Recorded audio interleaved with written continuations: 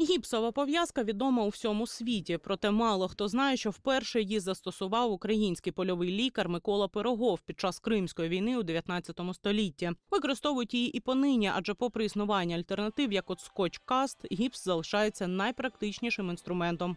Їх легше накладати на руку, можна повністю відновити е, зміщення перелому, що ж доволі складно. Там краще накладати, якщо нема е, зміщення. Е, Фіксація така більш стабільна.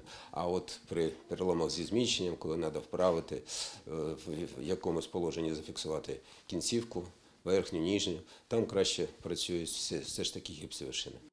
Гіпсова пов'язка полегшує роботу лікарям і тоді, коли її знімають з пацієнта, адже це не вимагає спеціальних інструментів та великої кількості часу. Гіпсовий шинник, як правило, знімається без проблем. Scotchcast частіше накладаються циркулярні пов'язки. А щоб їх зняти, треба спеціальну таку пилу, щоб розпилити. Потім розігнути і зняти, то проблема з ма- з- е, ну, досить велика. Іншим знаковим винаходом українців є рентген. 160 років тому сконструював трубку український вчений Іван Пулюй. Вона стала прообразом сучасних рентгенівських апаратів, при цьому випередивши німецького вченого Вільгельма Рентгена на 10 років. Пулюй набагато глибше ніж рентген проаналізував природу і механізм виникнення ікс-променів, а також на прикладах продемонстрував їхню суть. Іван Пулюй також першим зробив рентгенограму цілого організму дитини. З часом рентген розвивався, і на його основі створювали вже нові прилади, зокрема апарат комп'ютерної томографії. Він відрізняється своєю швидкістю, е, тобто це не МРТ, коли нам потрібно багато часу. Так це швидко, більш інформативно ніж просто рентген, тому що е, просто рентген. Е, Саме в плані інфарктів головного мозку у нас головною проблемою є кістки, які нам не дають сигналу пробиватися так через саму кістку. А на даному апараті ми бачимо е, зображення із середини голови, так сказати, і більше гарно видно паренхіму головного мозку. На КТ-апараті це займає 20 секунд і далі обробка інформації, а МРТ це е, 10-15 хвилин. Ще одним технологічним продовженням винаходу Івана Пулюя є ангіограф. Це рентгенівські промені, якими керує сучасна комп'ютерна програма. Медики зазначають, до створення ангіографа лікувати пацієнтів було вкрай важко, адже багато нюансів просто неможливо було зафіксувати. Машина може вичитати костні структури та м'які ткані зображення і залишати тільки зображення судин.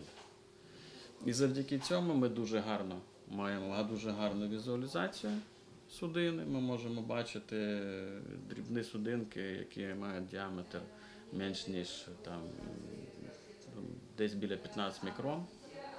Це дуже висока, високорозподільна здатність. І плюс до цього ми можемо отримати 3D-реконструкцію зображення, тобто мати об'ємне зображення, що дозволяє іноді приймати рішення при важких там, комплексних аневризмах судин головного і так далі. Також завдяки ангіографу лікарі можуть виконувати надскладні операції, мінімізувавши втручання в організм пацієнта. Під час операції використовують зокрема різні трубки, які вводяться у вени та судини через маленький розріз на тілі. Це трубочки різного діаметру. Тобто в даному випадку ми використовували технологію е, по спочатку попитка аспірації тромбу, тобто проведення трубочки більшого діаметру з такими властивостями, що вона е, в якомусь місці жорстка, а в якомусь місці дуже м'яка для того, щоб проходити через дуже звивісте русло.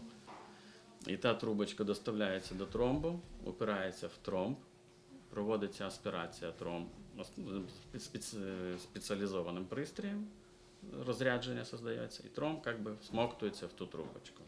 Не стоїть на місці медицина і зараз. За останні 10 років українські вчені створили понад 350 інноваційних наукових розробок. Серед них, зокрема, електрозварювання м'яких тканин, удосконалений метод шунтування на працюючому серці без переведення пацієнта на штучний кровообіг та електростимулятор для відновлення роботи нервів. Лікарі сподіваються, що у майбутньому на медицину також чекає швидкий технологічний розвиток. Наталія Юр'єва, Станіслав Єфремов, телеканал МТМ.